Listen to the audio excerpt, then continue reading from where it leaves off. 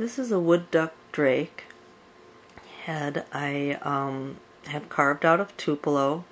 It has uh, Tohickon glass eyes inserted into it. It's to the point of um, adding the final details to the to the bill. Uh, I have yet to burn the uh, nostril holes in with my hot tool. I will be burning the lamellae in with my hot tool. And once I've completed that, I will come back with the ceramic stone in my micro grinder and uh, texture in the feather details of the whites.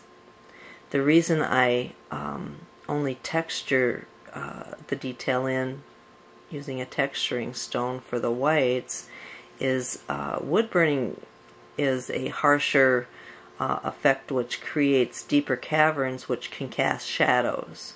These shadows can never be painted white and therefore would create a harsher looking feather detail in the white areas. So to maintain the nice soft look of a real white feather, I'll be stoning all the white areas with my texturing stone and then I'll come back when I'm done doing that and I will be wood burning the rest of the detail in with my wood burner in preparation for painting this in oils.